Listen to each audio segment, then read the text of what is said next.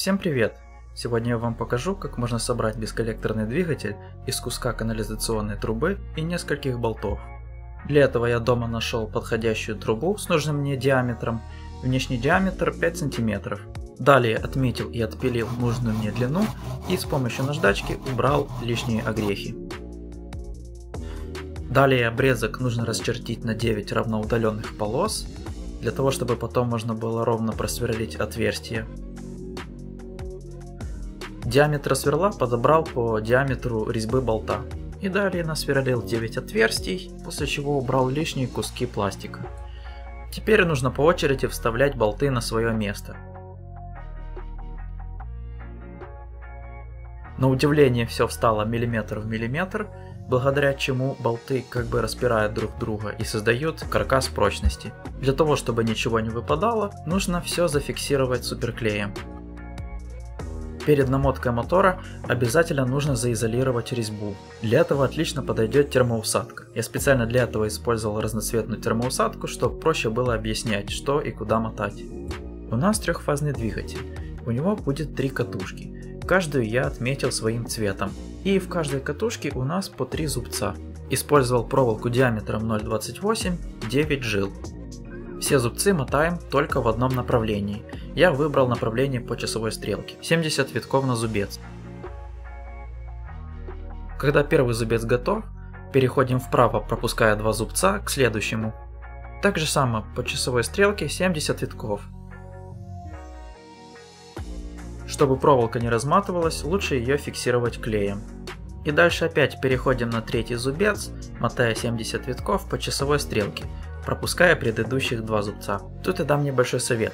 Используйте одну цельную проволоку, для того чтобы при переходе на следующий зубец вам не пришлось спаивать ее. Когда обмотка готова, отмечаем начало и конец. Начало А1, конец А2. По такому же принципу мотаем вторую и третью обмотку. Начинаем всегда правее от начала предыдущей. Начало второй обмотки B1, конец B2.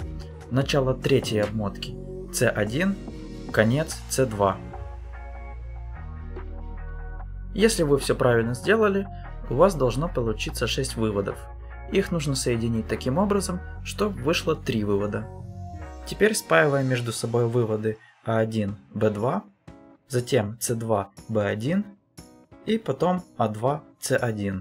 Перед пайкой нужно зачистить проволоку, затем это все спаивается, изолируется термоусадкой и припаиваются нужные разъемы. Теперь приступим к ротору. Я решил воспользоваться готовым вариантом и взял ротор с креплением для него от старого сломанного вентилятора. На ротор нужно наклеить 6 неодимовых магнитов. При этом соседние магниты должны отличаться по полярности, то есть полярностью магнитов чередуется. Приклеивал все на суперклей и армировал скотчем. Осталось установить ротор, отцентровать его и зафиксировать все на клее. Первый пуск и... и вроде он вращается, но не входит в рабочий режим. Регулятор попросту не может синхронизироваться с мотором, что-то здесь не то. За кадром я попробовал перемотать мотор, но это никак не помогло. Тогда я немного сточил шляпку болтов, чтобы сделать между зубцами небольшой зазор. И да, это частично помогло, мотор стал уже работать. Правда, было это похоже больше на работу ненастроенного ДВС. Стартовал он неохотно и не держал стабильные обороты. И когда давал больше 40% газа, он просто останавливался. Смог я частично решить проблему замены регулятора.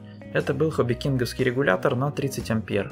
Но далее произошло то, что должно было произойти. На радостях от того, что мотор заработал, я решил испытать его без камеры.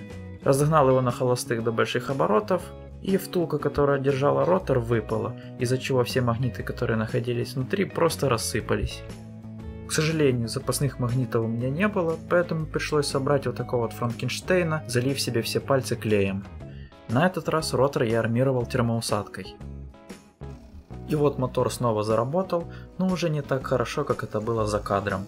Во-первых, увеличился зазор между ротором и статором, во-вторых, появился большой разбаланс и размер магнитов намного меньше.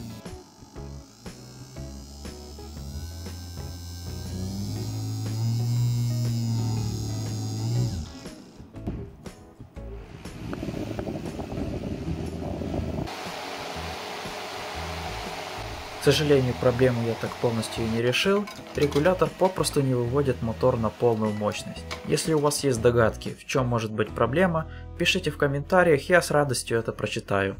Если все получится, я попробую немного модернизировать этот мотор и установить его на самолет.